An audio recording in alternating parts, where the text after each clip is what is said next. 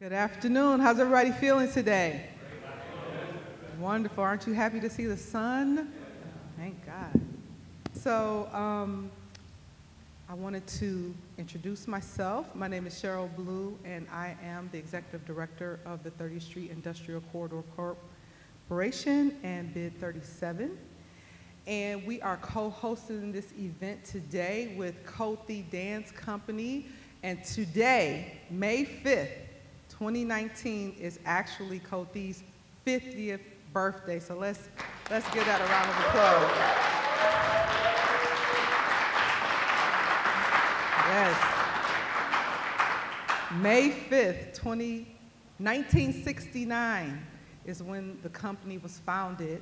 And just so that you all know, there are very few African dance companies in the world, even in Africa, that have reached a milestone to be 50 years old. So it is a tremendous milestone, Milwaukee's own Kothi Dance Company.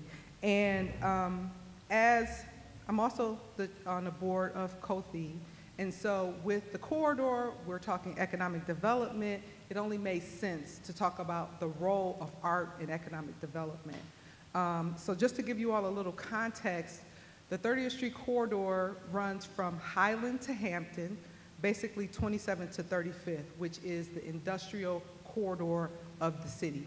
Um, Mr. Benson, thank you for hosting us. This building here is in the 30th Street corridor as well. And so our mission is to revitalize the 30th Street corridor. At one point, this area of Milwaukee had one of the strongest manufacturing corridors in the world, in the world. And because of that manufacturing corridor, many uh, black people, many people migrated to Milwaukee. That's the reason why they came here, because they could get really good jobs um, and live here in Milwaukee. And that's why the neighborhoods built up around the 30th Street corridor also for housing for the people that worked in this area. And so, of course, you know, A.O. Smith and all of these companies left, and so the, the area has, kind of, has went down in a lot of ways. And the goal of our organization is to revitalize this area of the city because, again, it can be a top manufacturing corridor in the world, um, as well as the community. So when I came into this position, economic development is traditionally bricks and mortar, how are we gonna get these buildings in and things like that. I grew up right here. My parents live about five blocks from here. I used to, I tell Mr. Benson all the time, I grew up in this library when this was the 20, the library here, the Center Street Library. I lived in this library and I'm so grateful that you have transformed the space into this beautiful place here. Um, but people, they didn't think about the people. They think about bricks and mortar. And so coming from the community, I understand that we have to, um, so we have to talk about revitalizing the people as well. And so the 30th Street Corridor, we've been working in garden homes, we've been working with community groups, and part of our mission is to facilitate discussions like this because you have to engage people, you have to talk, we have to build the institutions that are going to revitalize this community. And art is a critical, critical part of revitalizing the community. So it's a very timely topic um, that, we, that we're going to um, be discussing today. I wanted to acknowledge um, board members. Dr. Patrick Bellegarde Smith is here. I think he's the only person, oh, no, he isn't. Elmer Moore, also, uh, Fidel Verdin are all members of the Kothi uh, Board of Directors, and we are very busy um, preparing and executing our 50th anniversary. I also want to acknowledge Julia Taylor, who's here, who along with President Ashanti Hamilton are the co-chairs for our 50th anniversary celebration this year. Could you all give all of them a round of applause, please?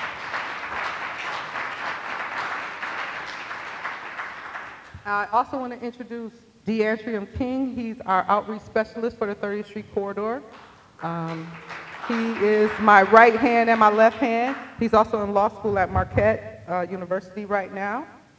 And um, so at this time, I wanted to introduce uh, Damar Walker, who is the Associate Artistic Director for Kothi Dance Company. One of the things that Mama Ferne did that a lot of people don't do is to train her replacement, okay? A lot of organizations, they just, they come and go with a personality, but uh, our, DeMarco introduced the rest of the team, but there's a very solid team that Kothi has for moving forward. And so as we talk about economic development, as we talk about Kothi celebrating 50 years, I want you to meet the new leadership of Kothi, but also very honestly talk about how do we save this institution? How do we make it thrive for the future? How do we support artists and art organizations in this city? So at this time, I'm going to invite Damar up to say a few words.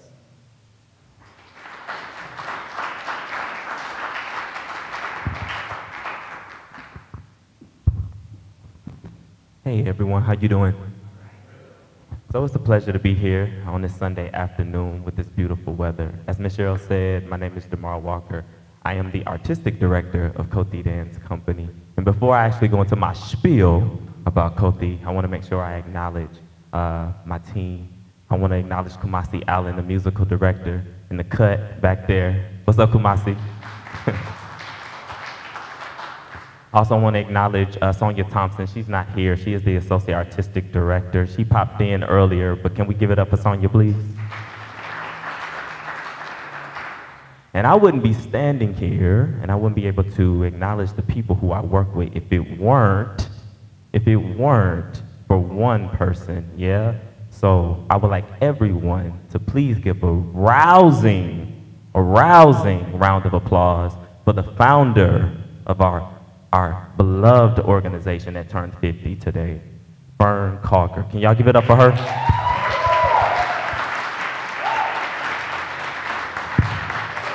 Yeah, yeah.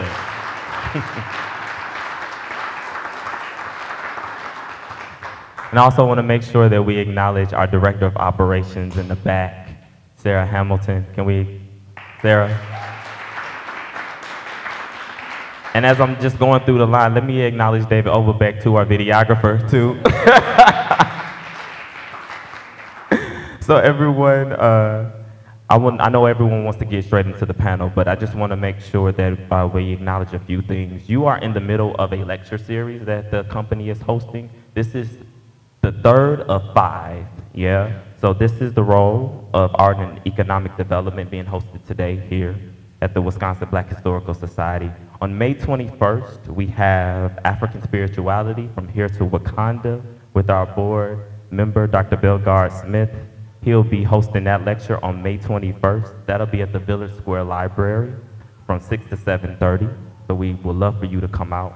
And the next one is on July 16th, Race and Color in Latin America and the Caribbean with also Dr. Bellegarde Smith. That will be held at the Mitchell Street Library from 6 to 7.30. So we would love to have you in attendance. Bring some people with you, yeah? Please support us, yeah?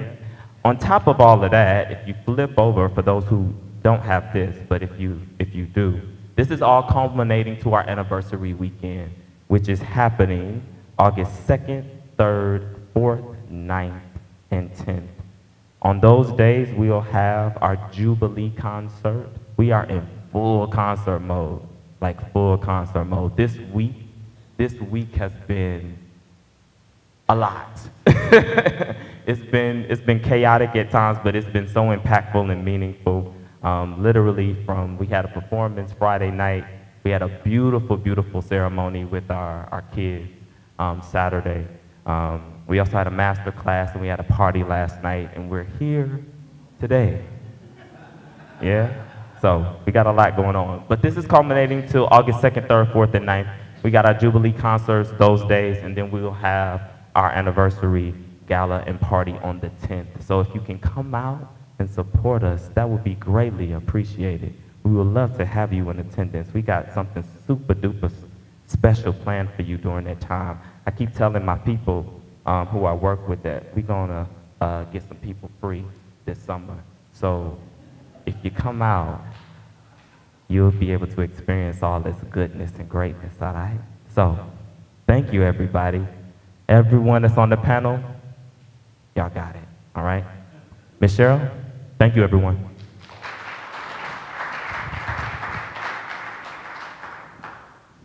At this time, we're going to have our board member, Elmer Moore, to speak to you further about Thank you. Hi, everybody. So you know what it means when the guy wearing the sport coat shows up, right?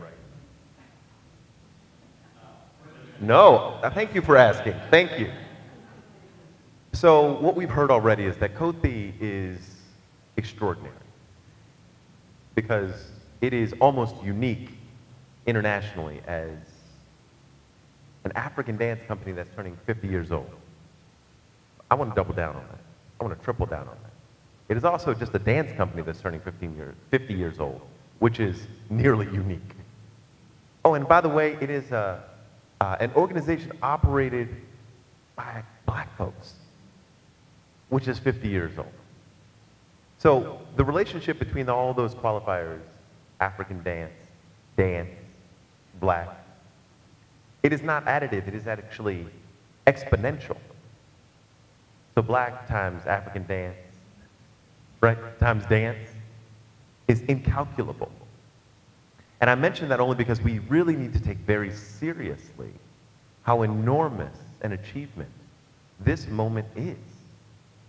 And we have to take very seriously our responsibility to assure that we're going to have another one of these in another 50 years. And so in order for us to do that, in order for us to really have a successful conversation about the role of arts in economic development, we've got to be sure that we support the arts with our economics. And so I'm inviting you all today to be a part of Kothi's history moving forward by allowing us to secure a financial foundation that lets this organization thrive. And so I'm going to show you what I would love for you to do. Option A is you go to the website, ko-thi.org, and you follow along and you find the button that says donate here, and you do what you're supposed to do there. Option B is you go to the back and you grab an envelope and you write your name on it and you stuff some stuff inside of it and you take it home and you put a check inside and then you mail it in. Option three, follow along. You take the stuff out of your pocket, right, and you fold it.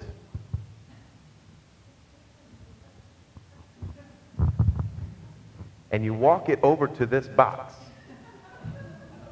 Watch how it goes. Watch how, so simple.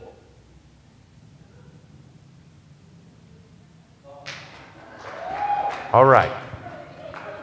There you go. Oh, and I, you know what? I want to show, I want to show everybody how to do both parts. So I, you saw that one. Then you take the envelope, because I'm going to need this for later on. I'm going to take it home. I'm going to write a check. I'm going to write a note. And I'm going to say, blessings.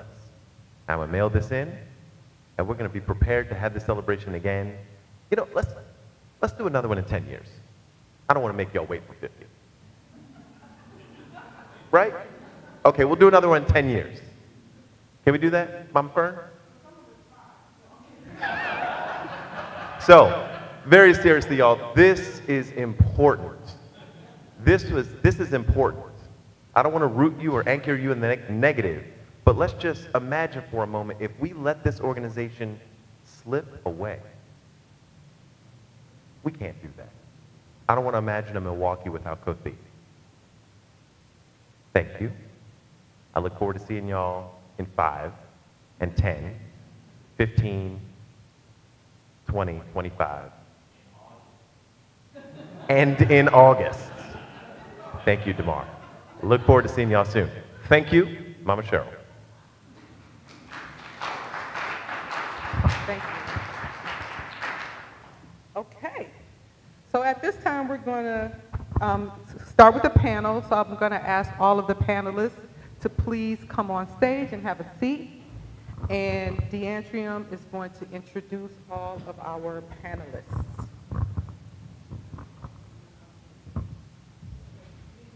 There's, there's here. So, um, what was I gonna say? Please donate.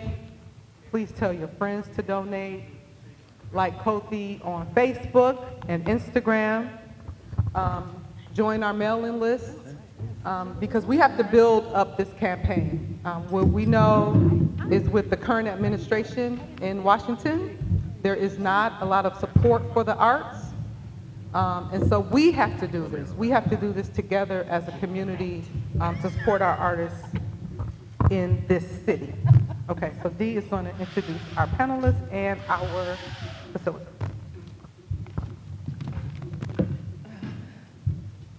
Good afternoon, everybody, and thank you again for coming out tonight. So before we begin, I'd like to introduce our panelists for the evening. Fidel Verdin is a visionary artist and social entrepreneur. Fidel has received national and local recognition for his many achievements, including a Creative Placemaking Award from Groundwork Milwaukee for his urban agriculture work, helping to found the Peace Park and Garden. Fidel is an award-winning film and music producer, widely known for launching Summer of Peace, an annual event focused on conflict resolution- and youth leadership. Fidel currently serves as co-executive director of TRUE Skool, Inc. and Milwaukee Center for Creative Arts and Hip Hop Culture. Next, I'll introduce Mr. George Tzougros. Mr. Tzougros is the executive director of the Wisconsin Arts Board, a state agency which nurtures creativity, cultivates expression, promotes the arts, supports the arts and education, and stimulates community and economic development. Mr. Tzougros works with the creative industries, Wisconsin Arts Board's members and staff, the corridor, the governor, and state legislator to create funding, programs, and services to meet the needs and the people of Wisconsin. Next, we have Mr. Elmer Moore Jr. Elmer Moore is a former dancer, artist, entrepreneur, and executive and director of Economic Development Initiative of the Greater Milwaukee Committee, Scale Up Milwaukee. Scale Up uses entrepreneurial growth to advance inclusive economic prosperity by offering programming and training for business owners looking to scale up. Elmer founded Milwaukee Denim Company and teaches entrepreneurship at Marquette University. He earned a BA from Muhlenberg College in Allentown, Pennsylvania, and an MBA from Columbia Business School in New York City. Next, we have Ms. Julia Taylor. Ms. Taylor was appointed as president of the Greater Milwaukee Committee in 2002. Ms. Taylor's work helped to promote collaboration on regional issues and opportunities through its initiatives in innovation and talent, economic prosperity, and vibrancy of peace. It acts as the creator of, on initiatives like Teach Town MKE, Scale Up Milwaukee, and other creative outlets throughout the city. Before coming to the GMC, Ms. Taylor was president of the YWCA of Greater Milwaukee for 16 years. She currently serves on the board of the United Performing Arts Fund, Milwaukee Film, and other organizations throughout the city. Next, we have Ben Barbera. Ben Barbera is the curator and operations manager at the Milwaukee County Historical Society. He also serves as vice president of the board of directors of the Wisconsin Federation of Museums. Ben has a master's degree in public history from the University of Wisconsin-Milwaukee, where he wrote his thesis on the history of jazz in Milwaukee.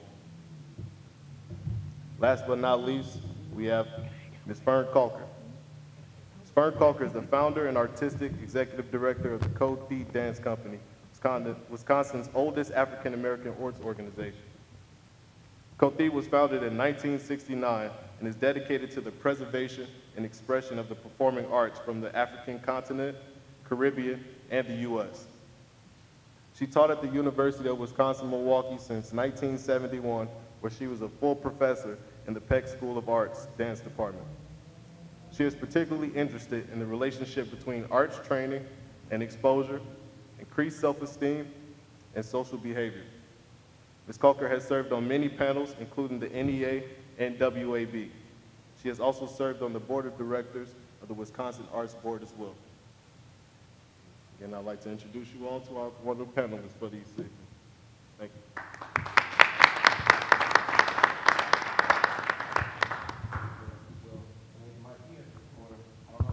But, all right, this is good. Um, we have a gathering of a lot of great, great, great minds in Milwaukee here today. And as it was already stated, thank you very much for being here to participate. Um, this is definitely not just for observation as you sit here, um, think about how you can input or any questions or comments you may want to have um, as we go into this. It's an honor and a pleasure to be here, and I'm in a lot of conversations with a lot of great minds around the city, some of them in this room, um, that we've been thinking about these conversations for years and years in terms of economic development and, and, and creating some stimulus, if you will, into the, into the city, period. And so when you talk about a lot of different things, and then at the, at the, at the curve of the conversation, there's art, and there's creativity, and there's culture, right? A different conversation that a lot of times not at the forefront when you're talking about economic development or neighborhood revitalization. Not necessarily the first thing that come out in the, in, in the conversation. Um, and, and a lot of you know that, especially from a city level, um, where people like to expect to think, get things done or move things forward, um, that's not one of the first places where they start, right? So I just want to also say that this is incredibly timely, as Cheryl said, uh, of a conversation because this is where the innovation happens. This is where people who color outside the lines and think forward and, and, and think about what has not been done before, later for tradition. We're not here to talk about everything that's happening. We're not here to talk about problems. We're not here to complain. We're here as creative thinkers and problem solvers. Because if we're talking about economic development and prosperity, we got some problems that need to be solved. We have some challenges that need to be addressed, right? And if we are artists, then let's have some fun, mm. right? Because if it ain't no fun involved, I, I, as an artist, I don't know how many artists that really want to be involved for too long. It ain't gonna be fun, I don't want none. All right. So get right into it. This is a very important session. Again, um, one of the conversations I keep hearing about um, as we stand and sit inside of a museum, historical museum, a preservation museum, you look around, it's all about artwork. You look in the other room, it's about art and sculpture and, and cultivating, uh, um, capturing culture, preserving history. Um, I'm in a conversation last week at the Milwaukee Art Museum downtown, and the, the, the conversation is about how do you get community outreach and people who may not be of the traditional museum patronage to come to the art museum. They, it's business. It's a business conversation. So the same way we're in an art museum right now, Mr. Benson, thank you again, because this is business, right? To keep the lights on here, it's a business. So I don't want to derail too far, but consider this facility for your future business, all right? Your future meetings, all right? Support this facility as we talk about sustaining arts and development. All right, that was a brief intro on top of the intro for you all. Okay, so now, you know, I, I like to really think big level when we're talking about these things. Again, if we're talking about solving problems, economic development, let's start big. Let's start big. And we'll figure it out, and we'll figure it out, and we'll get down to it. So I want you to, you know, take some notes if you need to and think about how we can follow up on this conversation after today as well. It's not just a pop-up, one-time conversation, people. Now, we're thinking about statewide for a second. Think about Wisconsin. This is Wisconsin Black Historical Society Museum we sit in, not Milwaukee. All right, so let's just go out a little bit. Let's think big a little bit. So thinking about the statewide on a statewide level, if we focused in on um, cultural organizations, it's a lot of impact that we could think about that, our uh, cultural and arts organizations facilitate. A lot of impact. But what I want to know is, and I, I, guess in no particular order, I guess you all can figure out how you want to bounce the conversation around. Um, from your perspective, um, what are the local assets that we have, including like the rural areas in Wisconsin? Okay, going back a little bit, thinking about a little bit of bird's eye view. What are the assets that you can say that we really have that would help to amplify the creative economy that already exists, but then also what do we have that could help us create and, and, and, and start that which does not exist here?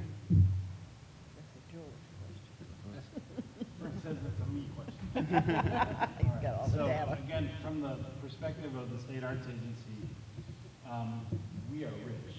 I think so as we well. We are rich in what we have in our state, whether it's the urban neighborhoods or the rural areas. Um, you know, we have what you would call the traditional arts in the sense of um, music, theater, dance, visual arts. But we also have traditional in the sense of the communication of culture. Um, and people across the state who are keeping traditions alive from wherever they came from before they came to Wisconsin, or from the native traditions who were already here. Um, so tho- those two pieces are existing. Um, the good news is that communities, and this is where it's beautiful, when you get down to the localist of local levels, people are supporting culture because it's their friends and it's their neighbors who are taking the opportunity to communicate what they're all about. And so they're much more willing to give to that person who they see across the way from them, who they meet at the grocery store, et cetera. Um, and so I think it's really important to note the fact that there are groups that are working statewide, like the Arts Board, like Arts Wisconsin, to weave things together. But I, I was saying to Fern before, there's this notion of uh, we're Johnny Appleseeds of stories and numbers. So the, the stories are, we meet you at a meeting like this, and you tell me about something that you're doing, and the next time I'm in another community, I tell that story to somebody. And then all of a sudden, we're connecting one another. The, the one other thing I'll, I'll say before I leave this abo- about is, the arts play such a significant role above and beyond the economics in our state. It's introducing us together as human beings, us together in our cultures, new people who come to our state. Recent immigrants who have to understand what is this thing Wisconsin's all about and vice versa. And I'll, I'll just reflect back on a story from the past where Kothi was out on the road in northeast Wisconsin. The people of northeast Wisconsin hadn't seen black people, um, and they hadn't. And now Kothi is the ambassador, not only as dance, an African dance, but as people. And making that connection with people who will say, ah, I get it now, I understand this cultural connection. So the economy is based on that really firm foundation. I guess I'll leave it there. I do think there's not a lot of connection between what someone called ur- urban and rural continuum in terms of art and creative placemaking. I think probably the closest area I've seen it come is, uh, if anybody's ever been to Fermentation Fest in Reedsburg, with the Worm Farm Institute, and they are trying to connect more with Milwaukee. Uh, and they've done a lot in that community to use art. I mean, truly creativity to, to really bring what would be a community. It's actually still struggling right now with a lot of dairy farms that they're losing, but to kind of bring their community together. And I think that in, in areas like this, we have a lot of recognizable assets, like you were mentioning about the art museum, but we also have a lot of community-based assets that are creative-based, that are not as recognized, that are really important for pulling community together. Because a lot of times what isn't heard is community voice. And to have a gathering related to art, to music, to dance, that brings people together, that creates that sense to get to know each other, to build a relationship. One of my favorite sayings is that change occurs at the speed of trust. And I think art at its core brings people together, form the relationships to begin a sense of trust, and to have the harder dialogues that Nice. Um, Um, I would like go to say ahead. something about that too. I, I love what you just said about, um, what you just said about trust. Um, because I, I go back, I think, um, well, 50 years Kothi, but it's really like eight years before that. It's been about 58 years in the, working in the state. And I remember as a young woman, um, having an opportunity to go and teach in Door County with the migrant workers. And prior to that, I was a child that had just come out of the 60s movement, where everything was very centered around being black. I'm black and I'm proud. That was the movement that was around me at that time. And then, so everything that I did and I thought about was centered around people who looked like me. And then I went up to Door County and worked with migrant children. And I suddenly realized that this is a human issue. It's a human issue, that each ethnic group has their story to tell, but it's also about humanity and how we relate one to another. And that changed my whole concept and, and, and really fortified what I wanted to become as a, as a dancer because I did, it fortified my strength to do what I was doing about my story, but it opened up my eyes to understand that there were other stories. And to me, that's, that's, that's such a gift to give a young person who is in a box and can't see beyond their box. So that was important. So, Absolutely. And there's a lot of boxes and bubbles um, in this environment. And art helps us to break out of those comfort zones. One of the things that came across um, recently my, my, my radar is Arts and Economic Prosperity Report. If you have not seen it, it's available. You can just Google it. Arts and Economic Prosperity Report in Wisconsin was done by America for the Arts. Um, it's been circulating for a while. It was actually conducted in 2015, but it's some pretty um, interesting information in there. Um, there's a couple quotes that was on the slideshow that was rotating that uh, earlier that was playing and some of it related to the arts and culture sec- sector, the nonprofit sector, and how much revenue, um, how many jobs created, how much money gets um, generated in terms of events and audience spending and visitors and traffic from tourism and things like that. So if that's your industry and that's your business, it's something you might want to check out and look into. Um, one of the things that stated in there was that the state of Wisconsin had a $9.1 billion um, value added from the arts economy in 2015. And so that's pretty significant. It's not a small dollar. And there's a lot of different breakdowns in there of, of how that number came to be and a lot of other pretty significant numbers that jumped out at me. Um, and I'll just read a quick quote that was in there um, and see if we could, um, I think that was it. See, see if we can play off of some of this. It says, um, understanding and acknowledging the incredible economic impact of the nonprofit arts and culture, we must always remember their fundamental value. They foster beauty, creativity, originality, and vitality. The arts also inspire us, soothe us, provoke us, involve us, and connect us, but they also create jobs and contribute to the economy. So that's something to always remember, and that's the CEO or the people who did the, the uh, study actually his quote. But it's also something to remember when we think about, you know, the, the Center for Performing Arts, or we think about the City of Festival and all the arts and entertainment that may be tied into things. And you think about art galleries and people go for experiences and it's kind of a pass-through experience. But there's a lot of other things attached to the business of it. Um, and I was just wondering on that level if anybody could chime in on the aspect of where do the arts and culture sector fit in, or where do you see it fitting in in terms of neighborhood development and the explosion of development that's happening downtown in Milwaukee currently. Um, where do you see arts playing a role in intersecting um, some of that revitalization and development?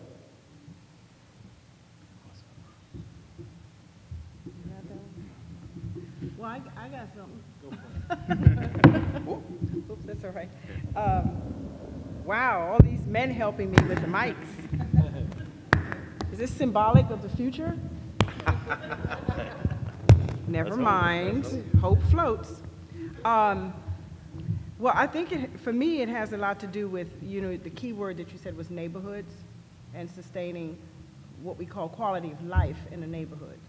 And um, what we often forget when we talk about jobs and econ the economy, et cetera, is that the people who create, for example, dance, Kothi, is that these young people actually work four or five other jobs mm.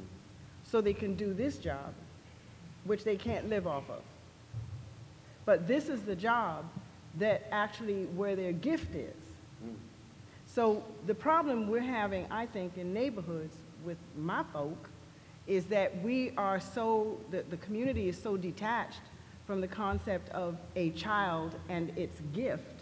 Mm. or their gift, and how we take, how we fortify the gift, how we strengthen the gift, so that they then, it's a circular breath that comes back into the community. And we're missing out a lot when we do all of this development. When I go downtown and I see all of the development and I see what's happening, you know, downtown Brewers Hill, where did all those potential gifts go? Mm. Because they're not down there. They're now on 175th you know, 94th and Brown Deer Road, where the only transportation they have to connect to the museums and everything is a bus route. So the poverty has moved outside of the downtown area and moved way out into the suburbs where there's nothing there for them. So we now have a crisis, I think, of gifts, hmm. un, you know, unfulfilled gifts that are sitting somewhere out there in Neverland while we're building these wonderful um, centers of excess that are not feeding the gifts for the future.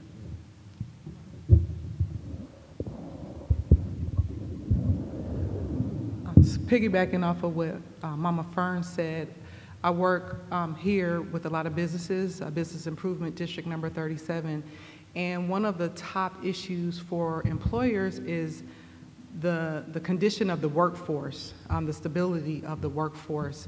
And I believe that it's about what is being cultivated in the inner city. Okay, so like I said, I grew up right down the street, 53206. I graduated from North Division High School. Um, we had almost everybody on our block owned their homes. Um, we had great teachers from the community. I was able to go to college. I didn't need remedial courses. But in the course of 20 to 30 years, the school system has been totally gutted. You have uh, children who graduate, like they literally have a high school diploma and they cannot read. Um, they don't know their timetables and things like that. And so when we talk about art and what it does for children and youth, because again, North Division, we had Miss Karowski, we had, you know, wonderful choir, we had Nefertari dancers, we had the beautiful murals, you know, a lot of Amara's artists all throughout the city. And these things are not being cultivated. You know, there's more talk of the negatives about, um, you know, the incarceration rate, all these negative statistics about Milwaukee, and we spend a lot of time on studies and these type of things instead of really investing in the people and the children. The arts programs are being cut in the schools um, and things like that. And again, art is what creates well-rounded individuals who have that inspiration to move forward. I wanted to read a quote um, from Phylicia Rashad. She said, before a child talks, they sing. Before they write, they draw. As soon as they stand, they dance. Art is fundamental to human expression. And so when we talk about revitalizing the communities, again, it can't be just bricks and mortar. We have to invest in the people. Milwaukee is, has the um, largest population under 18 in the United States. Milwaukee is the youngest, blackest city in the United States. We have all of these children. What are we putting into them? What are we cultivating in them? It's a very serious issue. It is a very serious issue, and it's about um, imagination, creativity, and innovation. In the 21st century, that's what it's all about. Um, And we are involved in a national organization called the National Creativity Network with Sir Ken Robinson. If you've ever seen his TED Talk, you know who I'm speaking about. If you haven't, go see it. Um, But Sir Ken says something, he says, you know, the kids who enter kindergarten this year will exit in 2068. Does anybody know what 2068 looks like? And the reason for raising the question is, without imagination, creativity, and innovation, those kids are not prepared. You know, there's often a conversation about a skills gap. The skills gap, the skills gap is only growing over time because kids are not taught the basic pieces that they need to adapt to the society as it keeps going forward. So that's one piece. Investment in kids is another. Um, and then finally, I think the arts have this really important role to play in, as you were saying about quality of place. Richard Florida called it quality of place. What's there, the natural and the built environment? Who's there? Looking for a diverse population of creative people. And what's going on there? And those things are important to the state of Wisconsin, to Milwaukee, and to other places for retaining and attracting the quality entrepreneurs and skilled workers that are necessary for the 21st century and beyond. So, so another piece, we, we will talk, I'm sure, more about what we should do to invest in the arts. But that investment in the arts is only because we're investing in our communities, in our children, in our place. So the, the only thing I want to add to that is, uh, you know, if we look at where this all started, actually, if we look at sociologists and anthropologists, uh, they go digging up, you know, things and fields and, and, and so on, the stuff that they pull out, i- it's called an artifact, right? So we have to remember that the arts is, is more than entertainment. Um, it's, it's actually a way of materializing a history, a moment in time, memorializing how things came to be and what things happened. Um, it's also a way to understand in real time what's happening, right? It's the way you metabolize. Uh, so it's a record, it's a, it's a process, uh, it's a celebration, and it's a way of self-expression. And so as we talk about the role of arts in, in community and neighborhoods, you know, we don't have to look 3,000 years ago uh, in, in the motherland where how you danced was how you introduced yourself. Like, I come from Baltimore, and I grew up listening to different music than you all did, right? Uh, in Baltimore, there's a kind of club music that only exists in Baltimore. There are dances to go with that club music. If I saw you doing them in a dark club in New Jersey or California, I would yell at you. What? Right? So the role of arts is is is way of cementing yourself in a in a place, um, in a time, and also within a community. Right? And I think it's always important. You know, we can think about music. We can think about things like um, certainly certainly in hip hop, whether it's graffiti, whether and graffiti, by the way, is just visual art done illegally, right? Uh, if we look at all these kind of aesthetic styles, they're just the ways that we use to express ourselves, where we come from, who we are belonging to. Um, and I think we just have to find more ways to nurture that in people.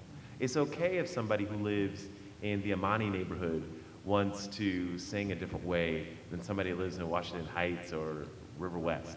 We should maybe encourage that.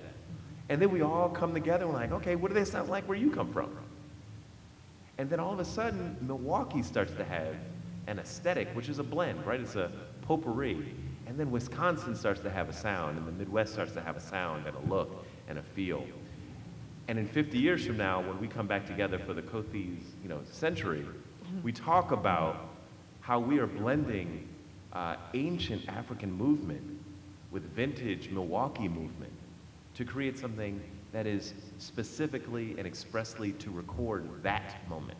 So that's how I think arts works in the neighborhood. Yes, There's a couple of things too, because I think, um, and I, I really love the way, uh, or you refer to gifts, because really in many of the communities, there are hidden gifts. And, uh, we've done a lot of work around creative placemaking, specifically in the Harambee and Riverwest neighborhoods. And one of the things that I think has really emerged is the number of talented young artists. And they're not, well, I shouldn't even say all young, I mean, there's a lot of artists out in the community. And they are, you know, having to do whatever they can do, to keep their art alive at the same time that they're keeping themselves together. And so I think there's, there is tremendous potential in how we can help the gifts not be hidden, but also have a gift, a, a place for the gifts to be displayed. And so part of what we worked on, and it really has come off of looking at the prosperity of the downtown and what's happening in the nearby neighborhoods, and how you balance out that prosperity moving up, but also not having people pushed out of their homes because all of a sudden their taxes go up and the values uh, get to a point that they can't afford the taxes. But Don't get me started about that conversation. Okay, well, I I know that's a conversation. Right now, at least. That's another panel. All right. Everybody's got that big Everybody just got that. That's right. That's right. It's a whole, that's a, it's a whole nother panel for a whole nother day. You got me stomping my feet up here, Julia. Keep it moving. Keep moving, keep moving. But what I Sons of- say is that, I don't know if anybody's been in any of the pop-up stores that are on North Avenue, and there's some in Cesar Chavez, and I mean, part of what we've been looking at is what sometimes looks like a detriment is a real asset. So there's a lot of vacant storefronts. The ability to turn those around and make those homes for people who are creative, who, who have something really unique, like you were talking about Elmer, to the neighborhood, to themselves, to bring it there. And so these places are going great guns.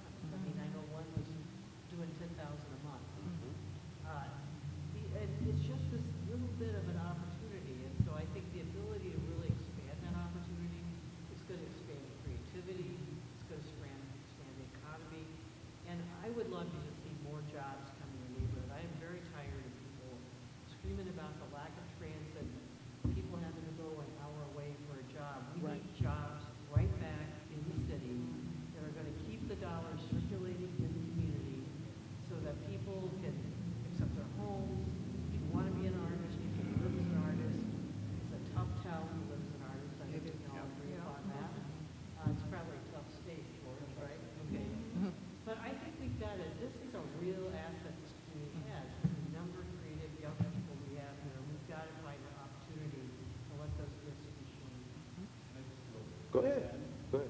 I just want to do it through ESN because when we're doing these things around the state, we often celebrate the youth, right? We're talking about the young people, that are coming up, they're great.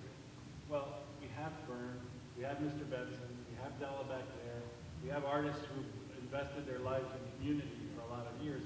And I just wanted to make sure that as we're celebrating the youth who are coming, that we also celebrate those who have come before them and continue to encourage the youth. Yes.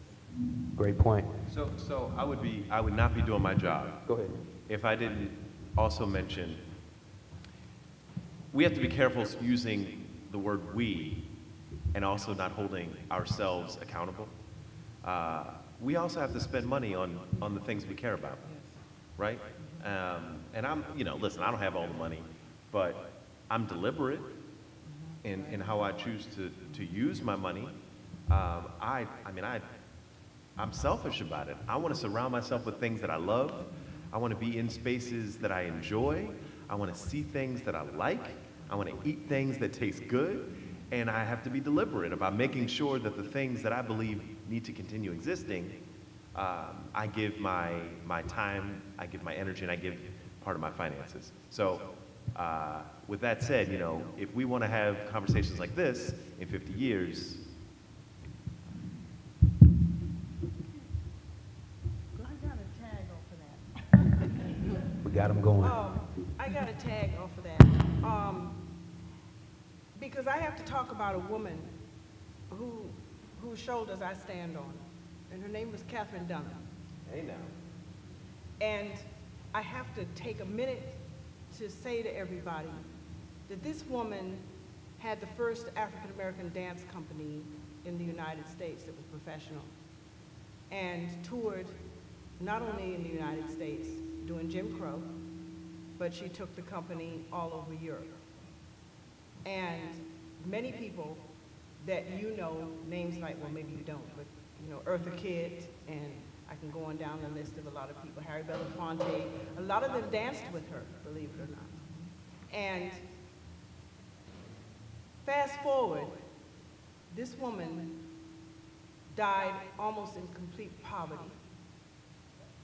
Her museum, which was supposed to have been placed, well, people wanted it in Paris, they wanted it in New York, they wanted it in LA, and she chose East St. Louis because of the same conversation we're having right now about economics and how we make arts relevant to people who need it. And so she put her museum in East St. Louis. And within two years,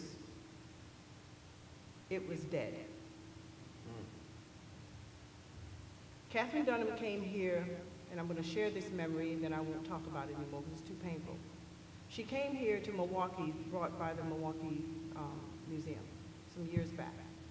She wanted her hair braided, so one of my dancers, Felicia, and I went, had the honor to spend a day with her because she wanted special little braids. So we took all day. And we're sitting in the hotel, and she's lying on the bed. I have a picture of it. And her underwear had holes in it.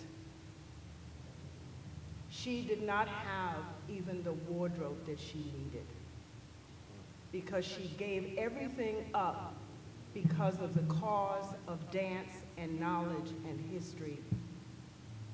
And I am sitting here with a dance company that's 50 years old that is struggling to stay alive.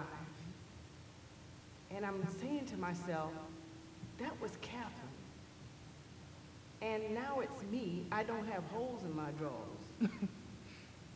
but, well, you don't know that though, do you? you see. So, I mean, at what point, what is it that we have to do for the artists, my artists, I'm going to just get personal here for a second, for them to receive pay, not make millions, just pay for what they do.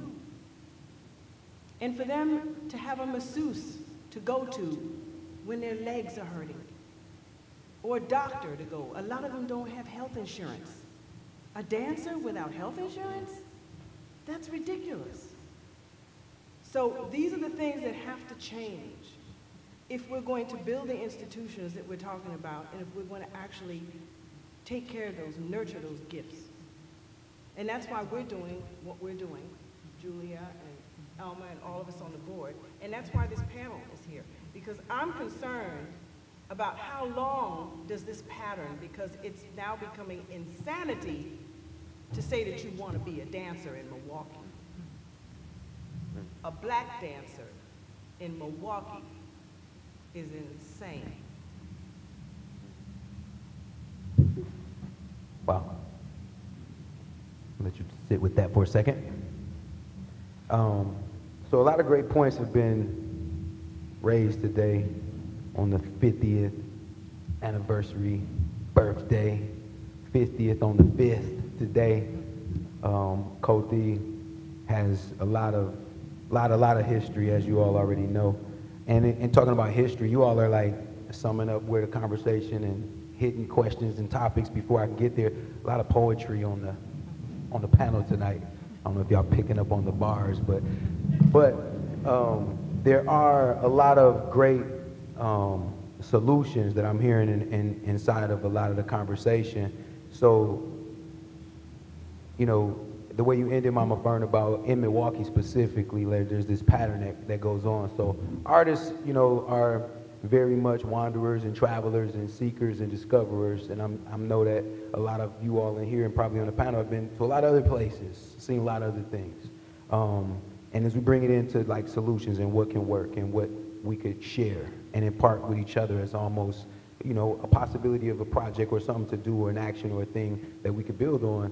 Um, I just want to ask you if anybody could share any any things that you maybe have seen in your travels or, or practices or principles that tie in. I'm talking real resources to individual artists. I'm talking about real um, uh, infrastructural uh, uh, support and, and, sustainable support to small groups and grassroots organizations. I'm talking like how do you connect the city projects that happen with the university project that happen with the neighborhood projects that happen. I'm talking like have you all seen anything that, that, that you think is really awesome in, and that, that could work in Milwaukee um, as we're talking about the role that arts plays in economic development specifically.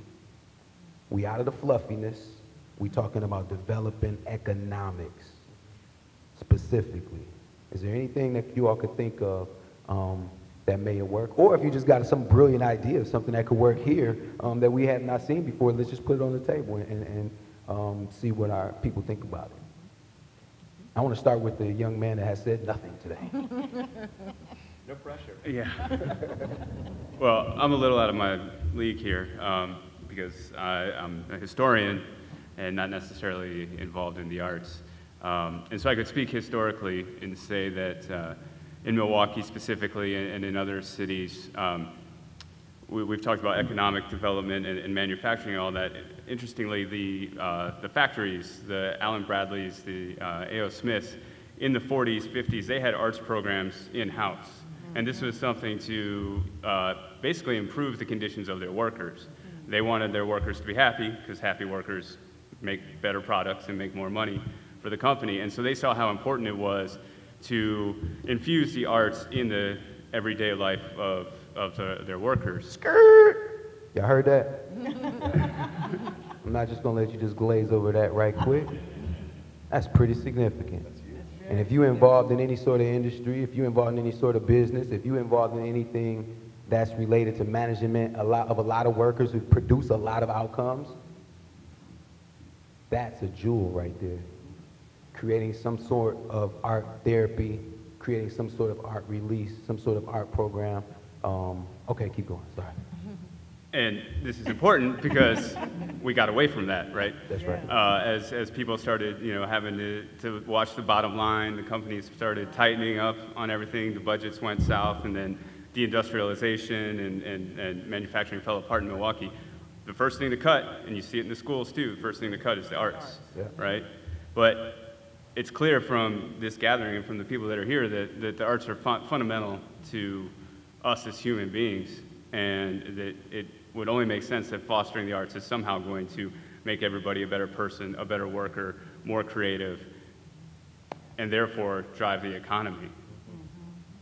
As for answers, I don't have them. I'm sorry. It's an awesome example, though. And that's what we're looking for, awesome examples. And if that was possible back then for factories that none of you ever thought of in terms of embracing art, you thought of them providing an economic engine for communities and for a lot of families that work, but how many knew they was probably in the back doing clay sculptures or something, right? That's amazing. Any other examples?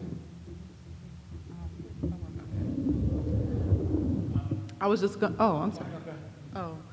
Um, we're located in the former Eaton Building on 27th and Hope, and they were flooded, and so they left. They, they use that as an excuse to leave, honestly.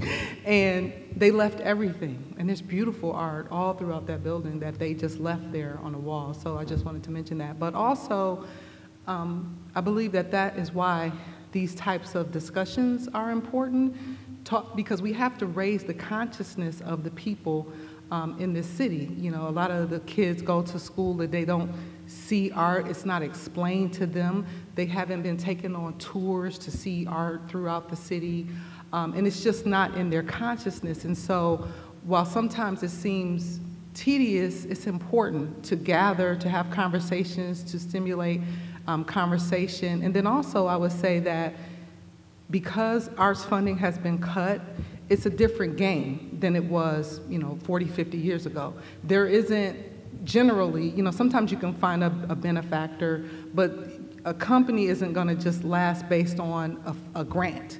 You have to build your audience, you know, person by person, touch, touches by touches, and, and so that you build your audience and your donors and things like that. That's how it happens. It's slow, it's tedious, it's relationship building over time, but that's the way that you build your audience and your foundation through building relationships and gatherings with people and having discussions across um, different walks of life. So, any other best practices or things from different cities? Because you know when they do studies like this and they do like surveys, they're always talking about what happens in other cities and what they did in Kalamazoo and what worked in Paris or what have you, right? And then you bring that back home, and sometimes it works. Sometimes, sometimes it fits.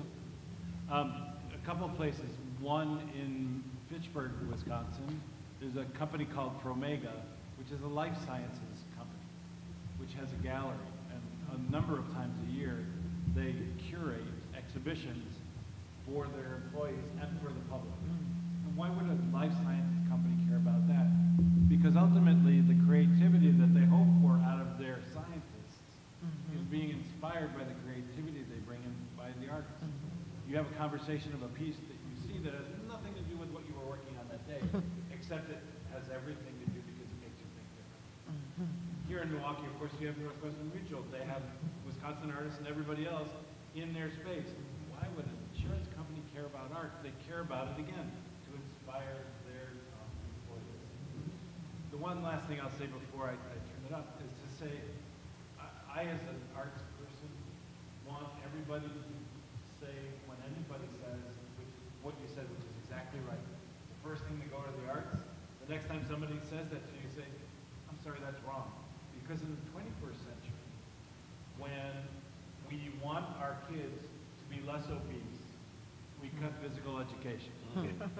when we want them to be more literate, we cut the librarians. Hmm. and we want them to be more creative, we cut the arts. And that's, that's got to stop. And, and to say we're going to go back, I'm not that kind of person. I don't say we're going to go back to the good old days when there was an art teacher in every building, whatever, whatever. But where it's different, where we can come together now is if we gather around the notion of creativity. The science teachers, the math teachers, the arts teachers, all of these teachers come together and talk about creativity. The school is going to be relevant to the 21st century in a way it's not right now. Because in many schools, it's still set up for the industrial. Right. You put the kid in on this end, by the time they come out on the other end, we hope that they're going to be good widgets. That's not what we need in the 21st century. Right, right. Not going to be ready. So I'd say those couple. I'll just add a couple of things. Um, 'cause this is something I've thought about a lot. Um, because when I said, you know, Milwaukee's not a kind one for artists, especially for thinking of, of you know, a livelihood at it, I mean, tell other people know, you get, then often you get more appreciated outside of town mm-hmm. than you are in mm-hmm. town. Mm-hmm. And so, um, one of the things, you know, you, you see this at community levels. Grand Rapids is a great example with the ArtPrize where they get, they give away, I think it's a half a million dollars or something for the top prize. And they, they draw artists from all over the place and they really, it's just really not a very big town. They've elevated art to a whole different part of the identity of the community. Uh, Detroit, I think, has done a great job. They also have the Ford Foundation, Kresge, and a lot of national foundations, but they've invested money in what they call an idea fund that goes directly out. It's a hundred million dollars. It goes out to entrepreneurs, artists, and, and other groups. But I also think that we have to think about how do we help the individual artists thrive? And the ability today to discover new markets uh, through social media, but it's really hard sometimes to build that audience.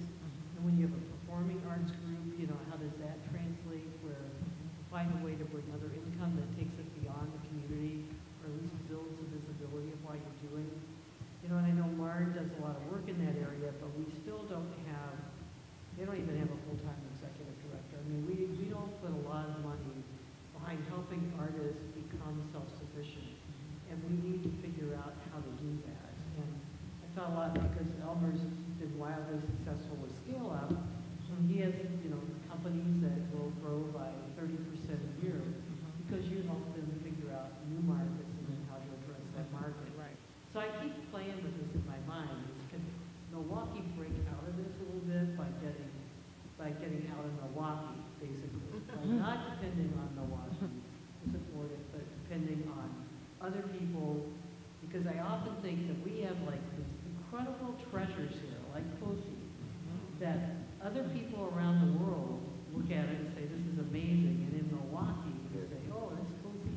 Yeah. You know, I mean, we Right. just don't get over, we have to get over ourselves. a little bit. We get our own way a little bit.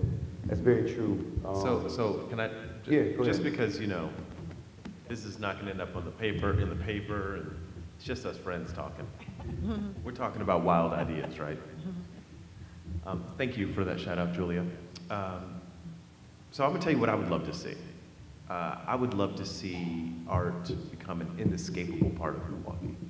I would love to see us uh, experience art everywhere. Just, I mean, I want to be frustrated because you, you can't go somewhere without hearing music, and you, you, you can't walk into a space that has more than 10 feet of, of open floor without seeing people dance.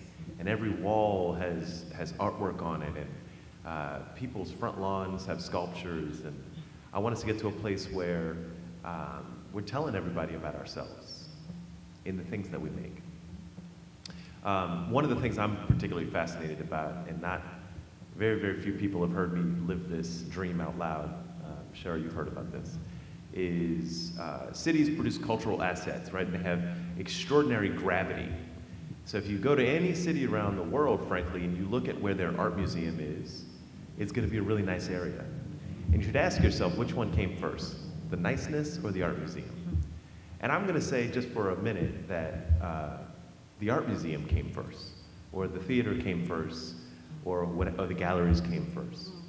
And so I'm just going to say, what if we decided to put uh, some, some spaces where we want niceness to show up uh, on purpose? So I've been dreaming this idea called the Black Art Center for a while. We have big, beautiful buildings with no windows.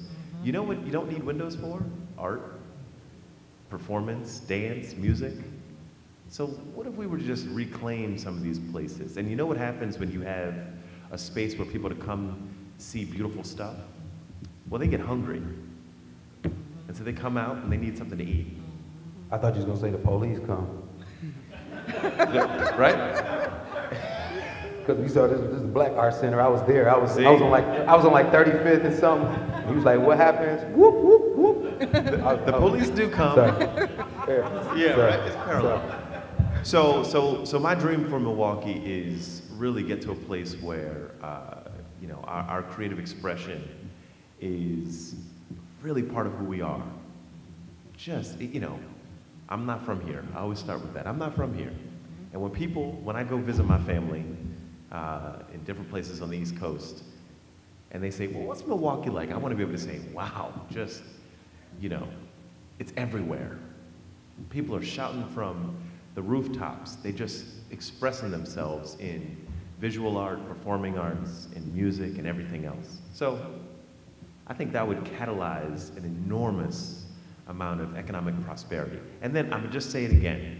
We gotta spend money on this stuff on purpose. We gotta stop asking for hookups. When somebody's giving a concert, when somebody's got a gallery showing, when somebody's making earrings, when they're tie-dyeing shirts, buy it. Buy it. Yep. And that goes back to supporting the individual versus just the brick and mortar development. Absolutely. That, that dollar or that couple dollars of just patronage goes right back to that. And if they charge you eight dollars, don't ask them for a discount. Give them ten. There you go. So as we um, sort of get into the Q and A part from, from our, our distinguished audience guests, I just want to take a little bit of everything that was said about like that overview outside of Milwaukee and throw a question out there to you all. And some of you may be able to speak to this, or maybe this is not even interesting, and I'm totally off, and that's totally okay. But I want to ask you in the audience if anybody would be um, knowledgeable enough to help everyone else. Could you describe and maybe define our designated arts areas that exist in Milwaukee? Do you know what they are? Do you know what they call? Do you know where they at? Anybody? You do? Somebody?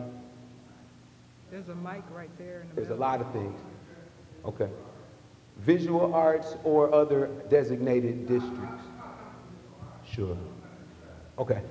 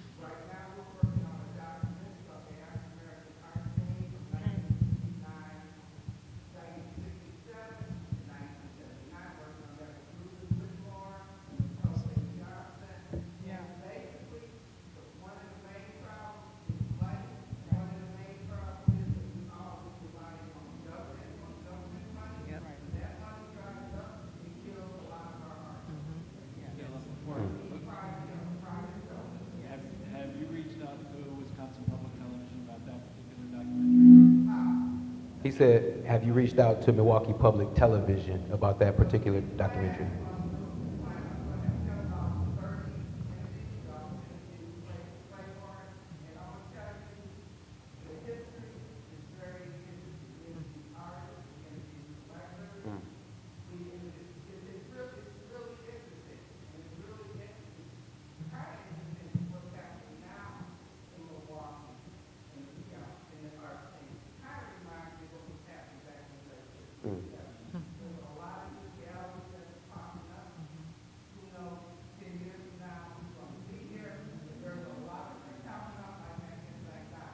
Very uh, true. I wrote some in my notes as I was like two days ago about just the way that it's um, very, you said pop, popping up and it's popular in, a, in an interesting way.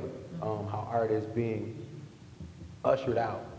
Artists and the work are being ushered in um, from other organizations and entities that particularly in the past weren't even thinking about art. We're considering um, contracting with artists or bringing artists to a table. And, and so it's pretty, it is very interesting um, right now.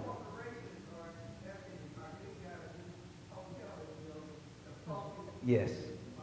Yes.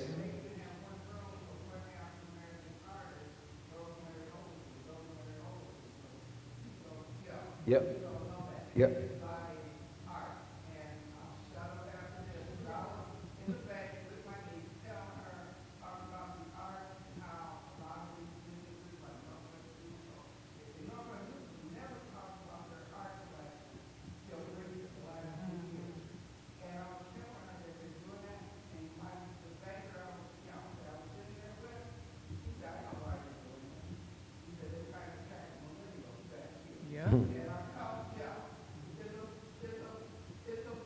Yes.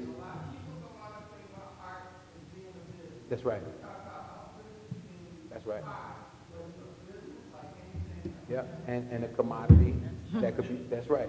Um, and so, you know, just to backtrack a little bit on your point about a cheerleader, did you all hear all of that just came off the top of her head of awareness of all the arts activities and artists and dates and locations? And that was just off the top of her head. So imagine, you know, if we all had that awareness to be able to share what was really happening in the pulse of the community um, and artists uh, and how to support artists directly. Um, I think that's awesome. And one other thing I just want to point out, um, and then I'll go into some other questions from the audience, not for you all, but from you all. Um, there was a comment made, Mama Ferne said, the crisis of unfulfilled gifts out here, or out there in Neverland. And she said, um, while we build centers of excess over here, mm-hmm. there's a crisis of unfulfilled gifts. And then Julia said, and we need places for these gifts. But they don't go anywhere. She didn't say the gifts disappeared, got decimated, destroyed, evaporated. No, she said that we're out there somewhere mm-hmm. doing something. And then Elmer said, we need a black art center. We need, we need the container for those gifts.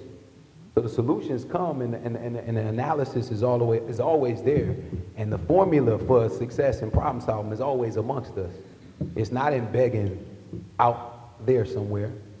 It is in us learning how to support each other and finding passionate individuals that may not be artists, may not be from 27th and Center, but that still understand the impact of what we're talking about. Um, we'll open it up. If anybody have any questions after this comment. Sure. Um, I just wanted to shout out TRUE Skool. Okay. You know, you won't mention that. Um, Yeah, I won't mention that. I won't mention that. I know.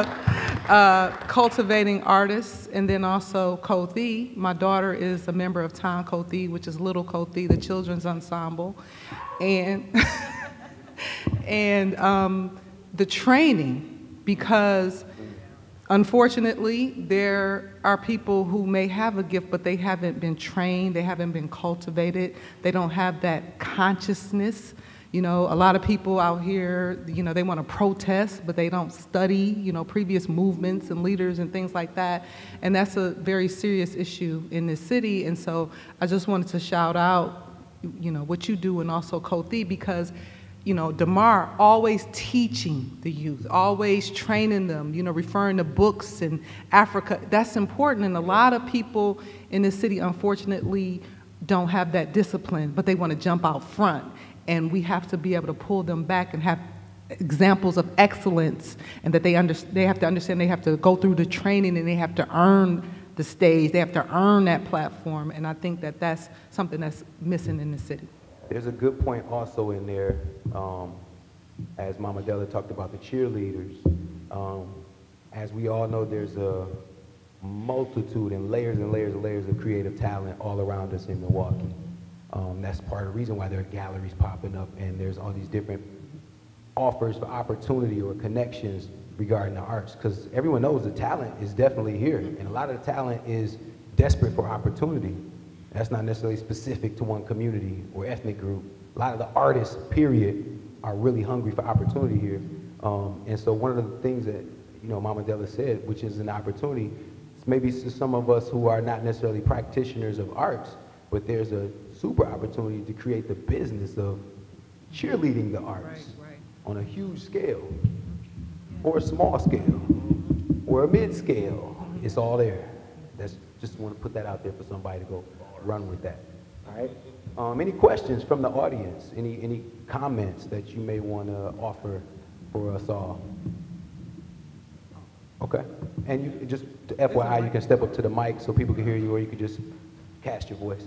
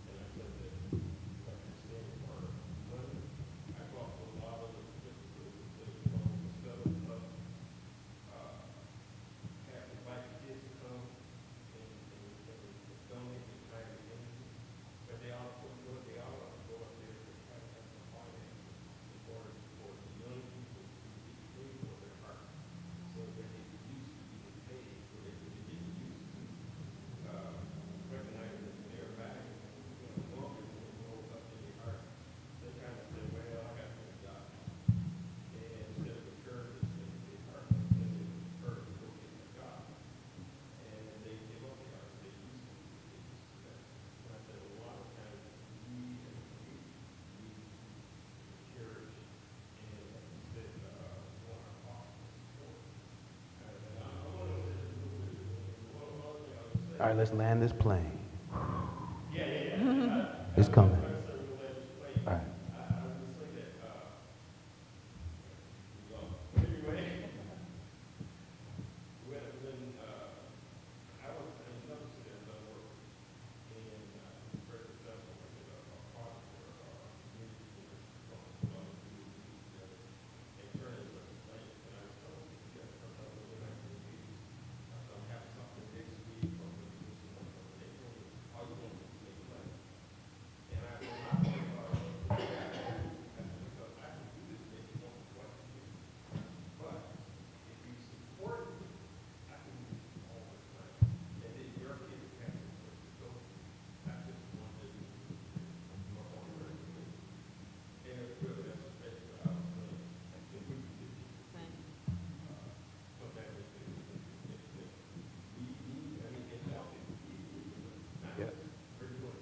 Oh, yeah. Oh, no, this is, this is, this is part of shifting that conversation. This gathering right here is part of shifting that conversation. Thank you. Um, I wanted to say something. Yes. um, That, um, really stuck out, that he said, um, the child or the young person who says, they ain't nothing in Milwaukee. I want to dissect that for a second, because what the arts do is, is reformulate, is that me? Okay, what the arts do is we turn that back and we say, no, you're in Milwaukee and you're something. Therefore, how can there be nothing in Milwaukee if you're something? And the something, the, the path towards the, that young person feeling that they are something is a path that comes out of self-realization. It comes out of learning some skill sets. It comes, out of um, feeling a sense of belonging to a community, whereas a lot of our children, they go into a home situation where they don't feel it's a home. And I know at TRUE Skool, and I know at Kothi, we save a lot of kids' lives. Because for a lot of them, if they, I can think of the amount of young men who, at a point in their lives, they felt, I got to get out of Milwaukee because there ain't nothing in Milwaukee. And my thing to them is that, you know, nothing can follow you anywhere you go. So if, if you can get to understand that you are actually something, then no matter where you go, there's always something because you're there. Because you're there. So it is about skill set, but I just want to share this with you. There's a movie that, um, I can't remember the name of the movie, but there's a, a line in the movie in Switzerland when they were trying to figure out how to move and deal with the Alps.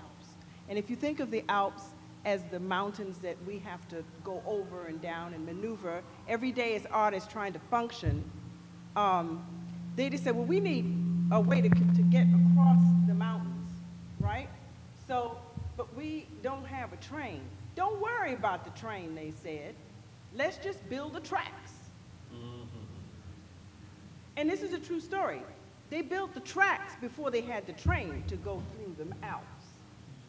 Did y'all know that? Hmm. That blew my mind.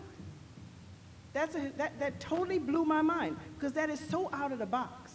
Mm-hmm. It's so out of the box. That's what we have to do. That's what I want to see as an elder and an artist in this community is that it may not be one big, huge building because then they can just drop a bomb on the building and everybody's gone. Mm-hmm. I want to see a lot of buildings. I want to see, I want to see uh, uh, Claiborne's thing function. I want to see Kothi have a building. I want to see a lot of buildings because we got a lot of kids. One building is not going to take care of all of these babies. And I don't want the prison system to become the holding tank for the babies because that's where we're at right now. Just so you don't think,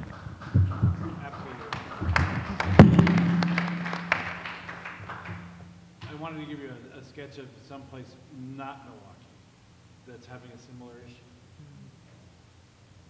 Superior, Wisconsin, we're looking at the map. I had a couple kids from Superior in my office and I said, go up to the whiteboard, draw me a picture of what Superior means to you. Three kids, each one of them drew a mug of beer. That was how they viewed their community. So you say, there's nothing going on here. Right. There's nothing going on in Superior for those kids as well. And so what they came away with was drawing this picture of a a mug of beer. One thing to just put in here is maybe a, a project of the future, hmm. and it is actually a project of the past. And that's, we do cultural exchange, right? We we send people all over the world to do cultural exchange. There's really, I think, a call for cultural exchange within the state of Wisconsin. Yes. You know, so Yeah. kids from rural areas, kids from urban areas mixing it up, I think it could be very fun. It's a Wisconsin Peace Corps. Yep. And that's sort of how we start the conversation, from talking about that, that view of statewide assets. Yes. Good evening. One of the panelists mentioned that we often should use the word me instead of we. So I want to just tell you a few things that me uh, has done that have increased the interest of art with students. One example, a group that I belong to has just set up a scholarship in the arts of $1,000. It's not a lot, but it's a start. Right. And we intend to continue that. Um, Also, I belong to a group, I'm very active in groups, uh, with Ferne. I stand here saying that we were the organization that first presented Ferne in the 70s. And so whatever, wherever I am, arts will be a major part of my life. Another example, I'm very thankful for the artists who let you buy work on time or the layaway plan. I didn't always have the money. I collect art by African Americans in Wisconsin. There are artists that let me have art at a lower rate. I gave them a certain amount. I agreed to pay them a certain amount, but I bought it. Hmm. And also, there's money in these churches. Hmm.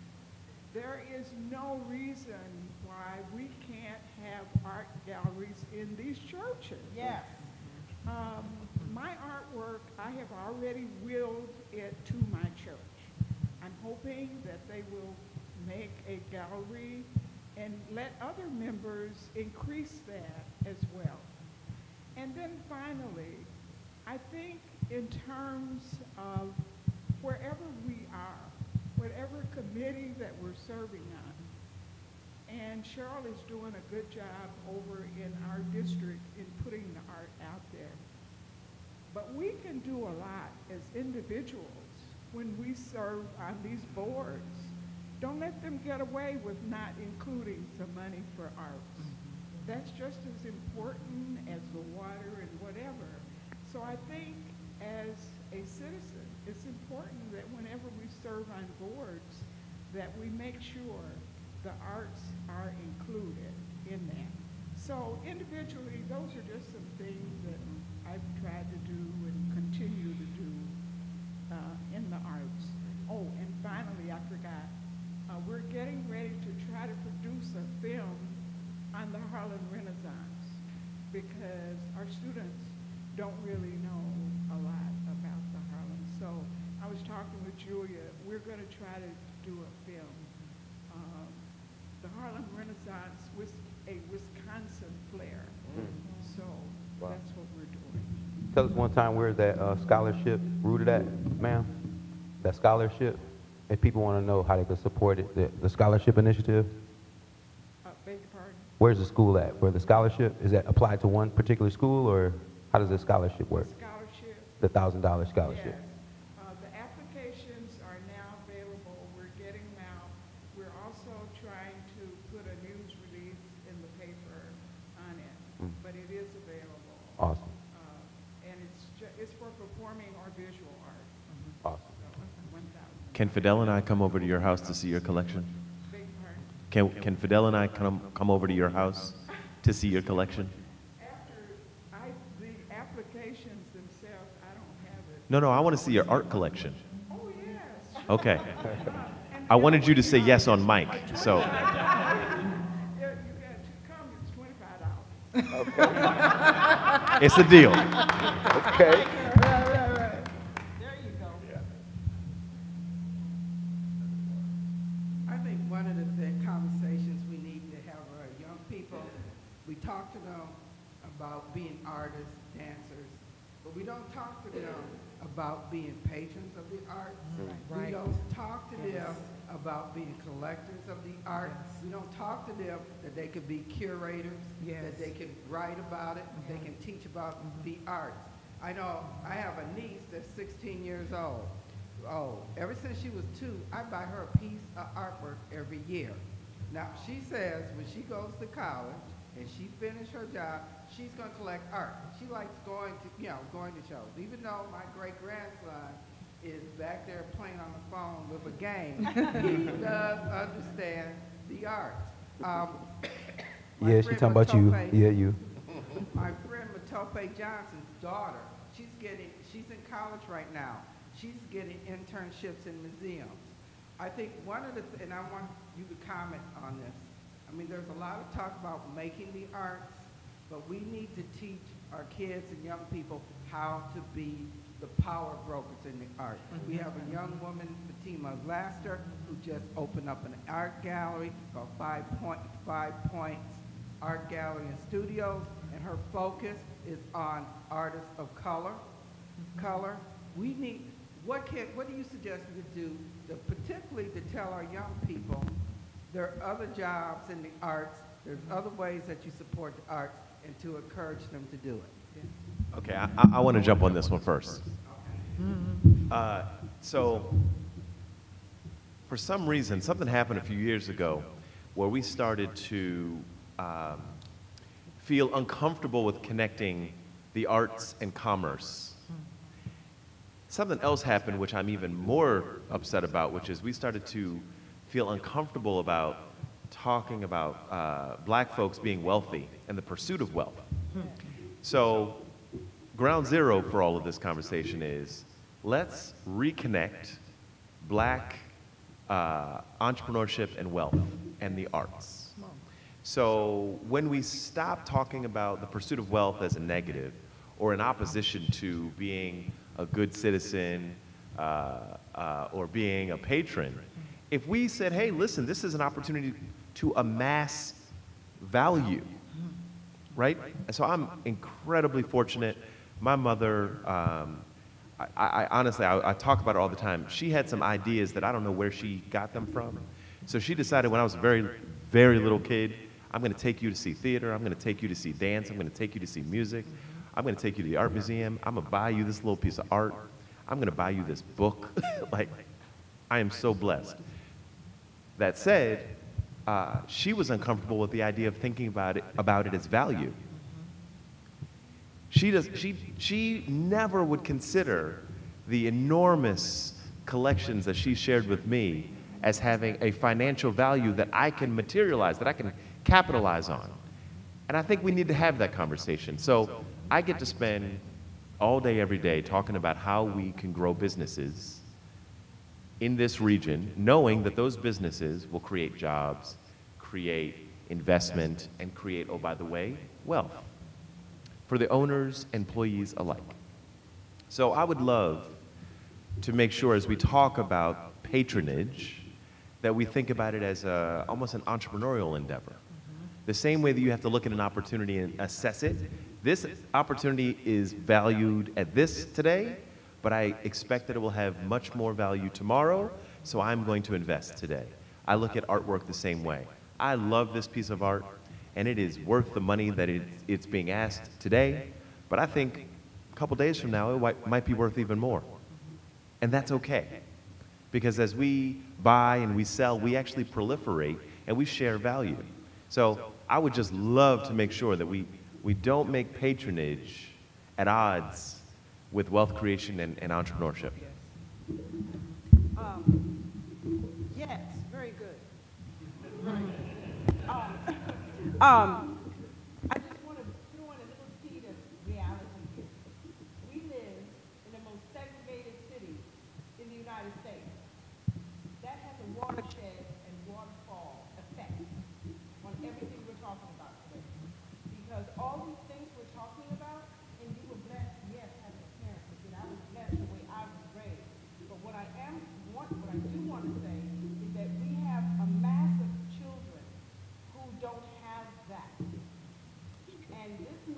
children are literally in a school system that has totally emptied out their brains.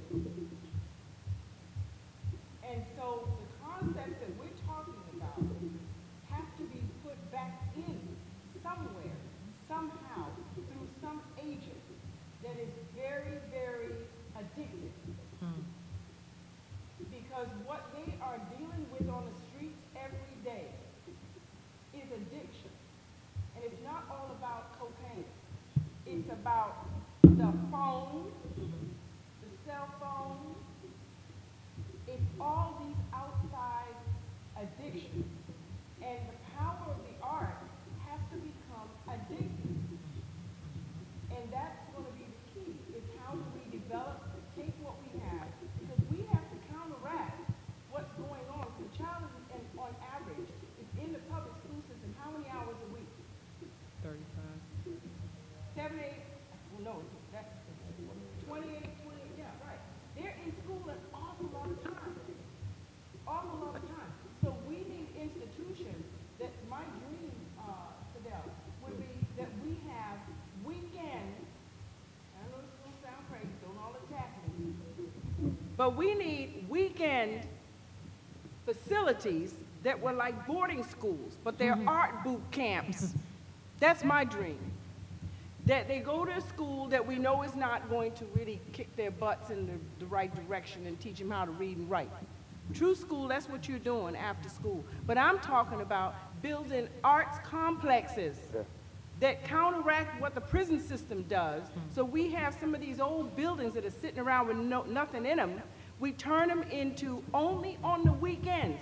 We just take a net and we grab a whole Yeah. bunch of kids and we and we just grab them and we go to jail because we just captivated them and we put them in a big building that's a boot camp for arts training. You know, um, you just reminded me of something that's pretty, um, it's, it's, we, we won't go to jail, just Okay. for the record. Just, uh, that's a great spirit, but you know, that net is the opportunity, that net is, that somebody said, being able to have stipends and money for these young people. Um, the net is for us, even before the money, the train tracks before the money is in our collaboration and partnerships. Because you may not have the resources, you may not have the facility for Saturdays, but somebody else in this room does.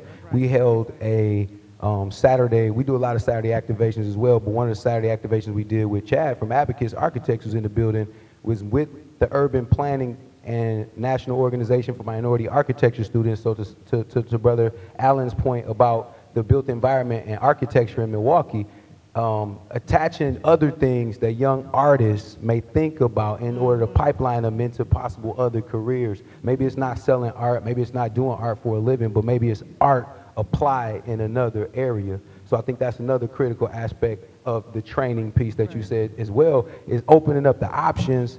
Um, art is integrated in every aspect of society. It's just not museum and art and curation and, and culture. It's, it's everywhere. You cannot um, go anywhere without it. And so as we go into this highly technological, fast-paced type of environment, um, we should think about art also in terms of how we mold our young people's minds without killing their dreams and imagination and innovation, but direct those same things into other career pathways and possibilities, entrepreneurship, etc. Art saves lives, as the church says.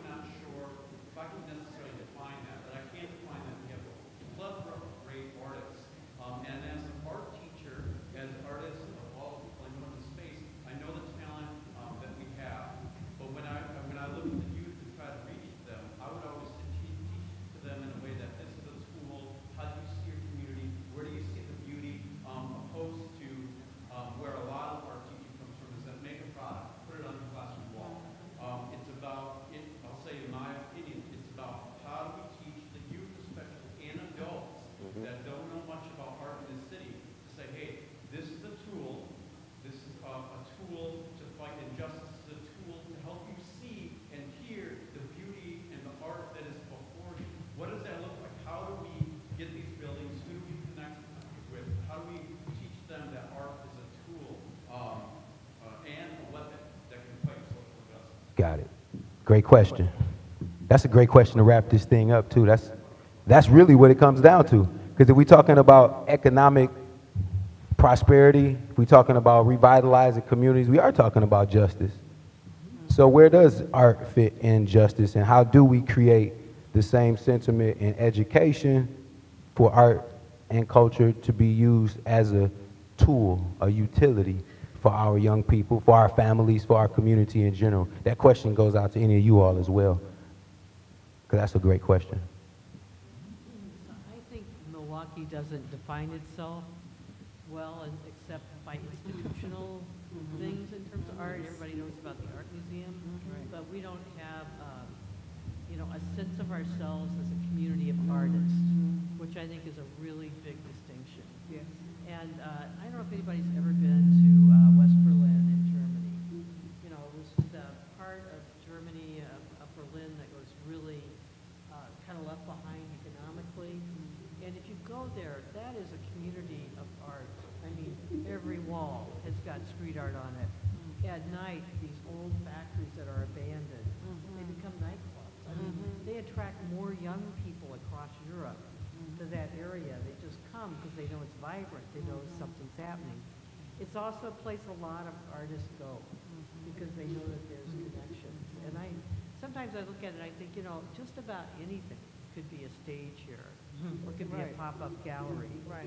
We just have to kind of wrap our heads around it and get people back to, uh, I think it was Della that pointed out, the idea that we can all be consumers of art and we can all be artists. And it's not a, you don't have to achieve a certain thing, you don't have to be, um, you don't have to wait for somebody to come and say, I'm going to give you a show. You can kind of create a show. Right. And I think if we could get to that point more, um, and also start to get people thinking about being collectors, that, you know, you can buy art for the price of a case of beer, right? And God Priorities. knows we buy enough beer in this town. We could buy art too. But how do we talk about social justice in art in the most hyper-segregated city? There's a, there's a list that is quite ugly about this place, statistically speaking. Very, very, very well known nationally and beyond. And a lot of people make a lot of money off of that misery and exploitation and suffering, to be quite honest. How do we, as artists, practitioners, supporters, collectors, etc., how do we start the conversation about utilizing the art as a tool to address some of these things was the question, I believe. Just to keep it right there. That's a vital point. So we got, we got one from the audience. No, we're gonna get one from the audience. We need your feedback. Come to the audience. I mean, come to the mic. I just had an example um, here in Milwaukee, you know, how do we define ourselves? I was just at a conversation, normally I do mo- a lot of things on the north side. I was at a conversation um, on the south side with some economic development people who were doing some things, and they're talking about Cesar Chavez Drive and how murals, all that is just picking up, and they're just so excited. And I'm going, man, I have to have the same conversation on the north side, and some of it's happening, mm-hmm. but, you know, so it's, I think we can't forget about that elephant in the room, that, mm-hmm. you know, certain things happen in certain communities, and even though this isn't near South Side, it's still happening. So, you know, there's some, um, I know the Latina women's group is trying to do some really strong things, and, mm-hmm. and there's some really great artists here. So how can I, as a white ally, and you as a white ally, support some of that on the north side, you know, with some of the things that are happening? And maybe it doesn't have to be a mural, you know, maybe it can be something different. So I don't have a uh, suggestion, but there, there are things happening within colors of community. um, It's good. I need to cover that more. That's part of the conversation to be able to um, come from our different organizations and agencies and be able to offer that, that convers- conversation and communication. And follow up, because of course it's not a conversation that stops today, it- it's something that has to roll on. Hello. Hello. I'm an artist. and, No.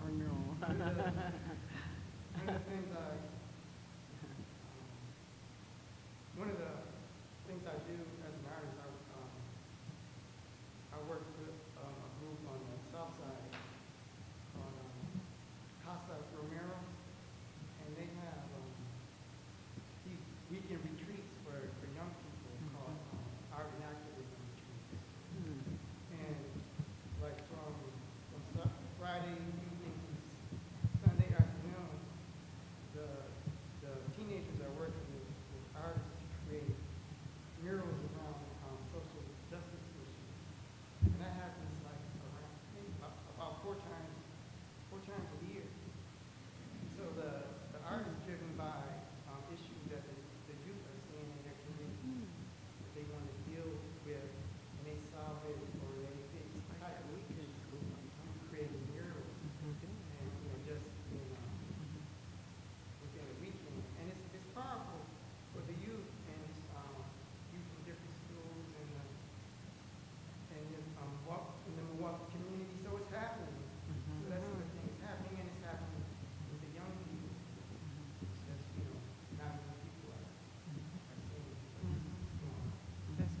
awesome.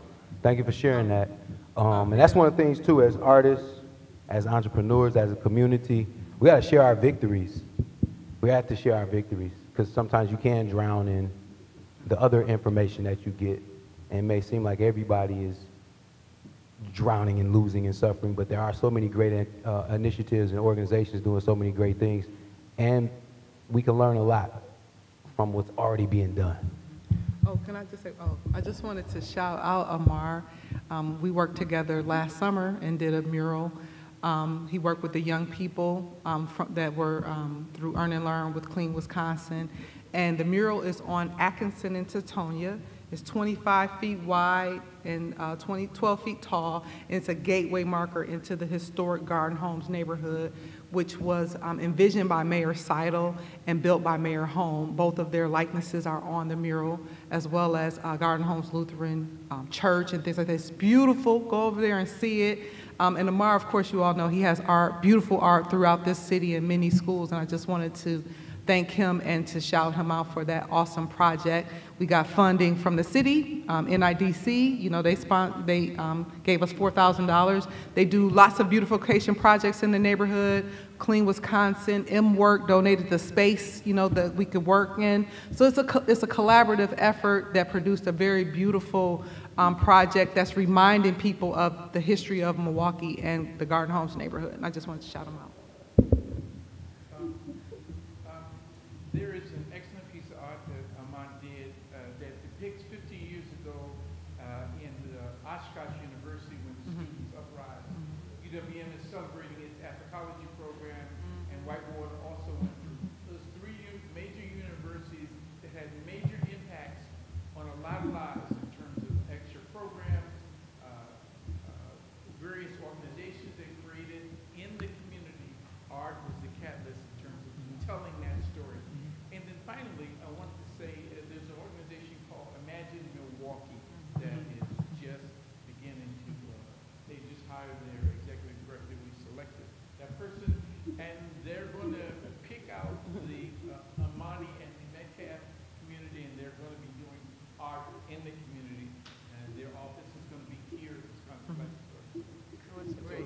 Again, That's talking great. about art being in the community grassroots level, at every, every kind of art that you can imagine, from dance to uh, paintings, to gardening, to uh, writing about art and the interpretation.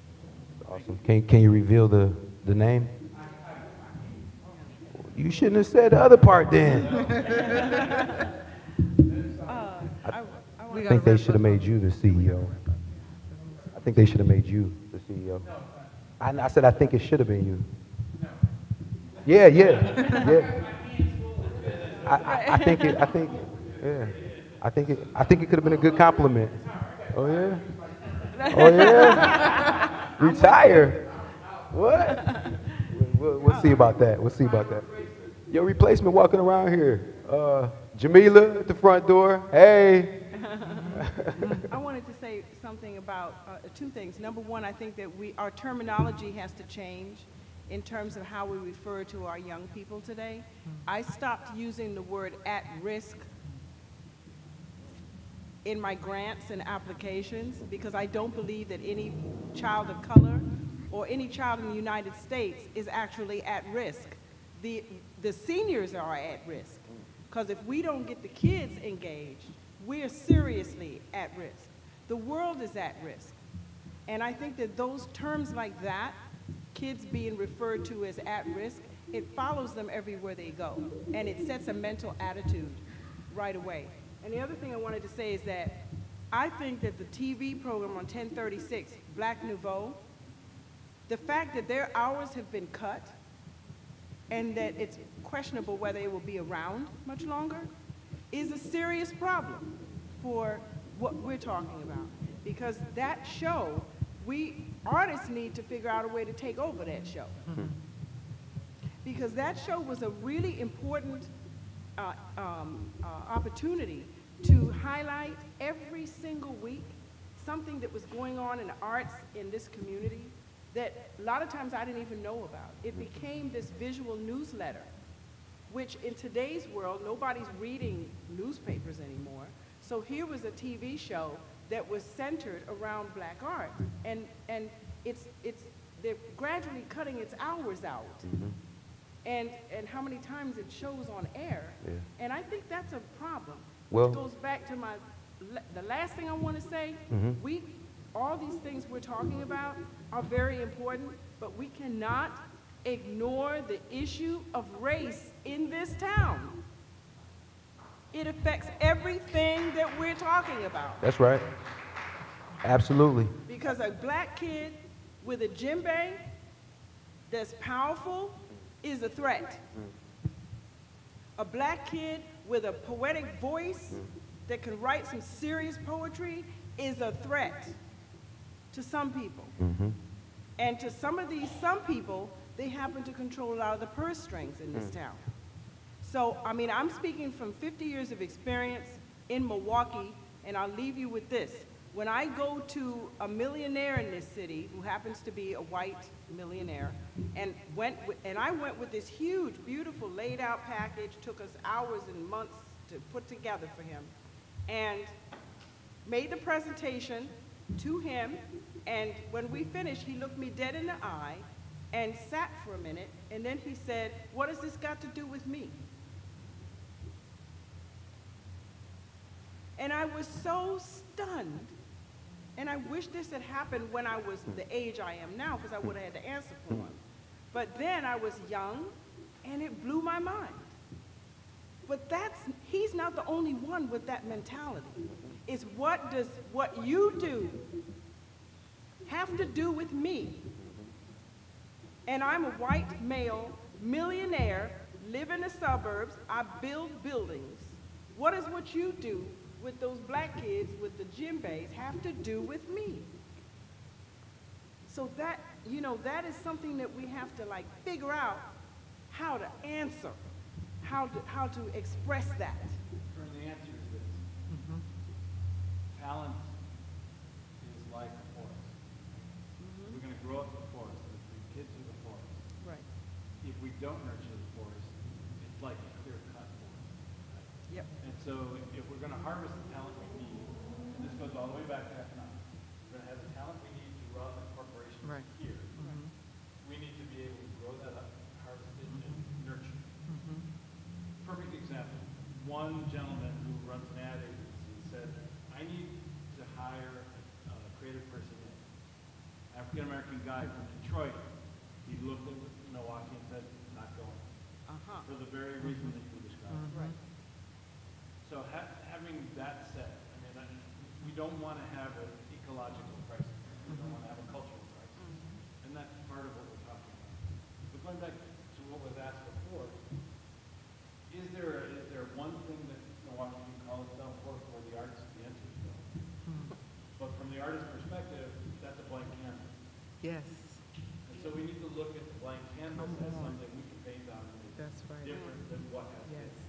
Um, And I think the creativity of this group, the understanding of the social justice mm-hmm. issue, but also knowing the way forward is going to be crucial. Yep.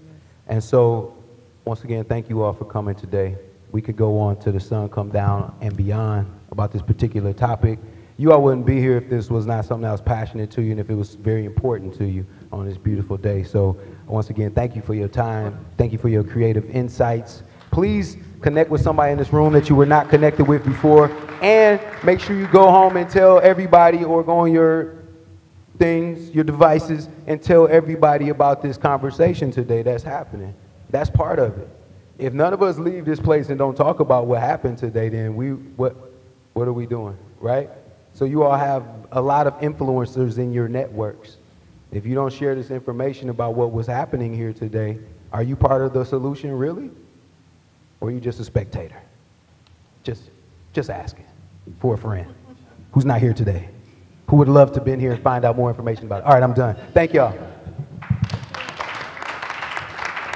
Hold on, before you leave, before you leave, I just want to say that the 30th Street corridor, Amani, Metcalfe Park, Sherman Park, that is our goal. Our goal is to build Black Wall Street in Milwaukee, okay? So we want our friends and allies, but first we got to circulate our black dollars here and build our community we can do a whole lot if we just do that coming together ourselves. Um, but I also want to end with Mama Ferne. We want to sing happy birthday to Kothi on the way out. That's too much, Mama?